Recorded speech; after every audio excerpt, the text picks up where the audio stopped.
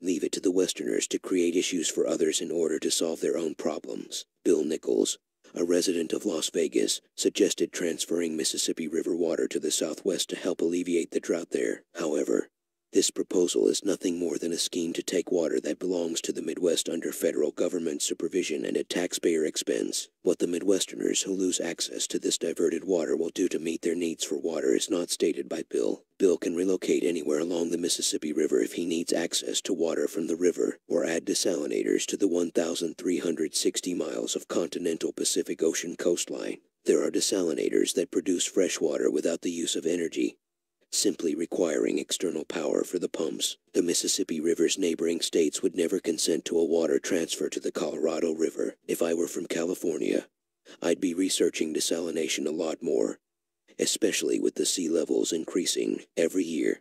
The size of the forest fires in the west becomes larger and they continue to burn out of control. The western region's water supply situation has drastically worsened, making it more difficult to put out fires and deliver water to farms cities, and business, this problem cannot be solved by nature alone. With less winter snowfalls and increasing droughts in California and other western states, less water is required.